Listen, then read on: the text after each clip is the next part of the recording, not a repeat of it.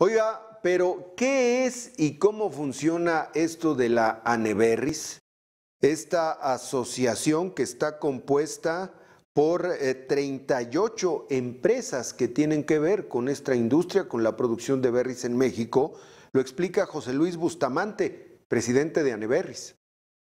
Les digo muy rápidamente quiénes somos en Aneberris. Aneberris se fundó en, en 2009 y la primera, el primer congreso lo hicimos en 2010.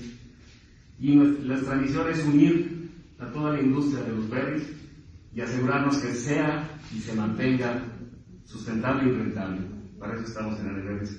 Hoy agrupamos 38 empresas en tres sectores. El sector comercial, exportador, un sector de procesadoras de las empresas que se dedican a procesar los berries, congelarlos, hacerlos purés Recientemente genética en la que contamos con las principales empresas productoras de planta de berries en México. La industria de los berries en México genera alrededor de 420 mil empleos directos y generó divisas por alrededor de 2.300 millones.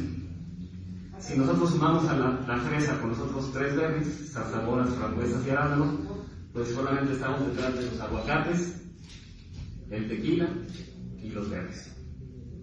Actualmente en México hay alrededor de 52.000 hectáreas, 7.700 de arándanos, 10.700 de frambuesa, 16.200 de zarzamora y 18.000 de fresa.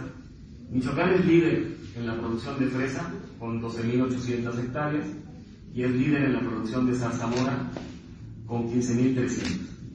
Y tenemos el, origen de la industria de los berries en, México se dio en Michoacán, en la zona de Los Reyes, en la zona de Uruapan y en la zona de Jalisco, en la ribera de Chapala. Ese es el origen hace más de 20 años.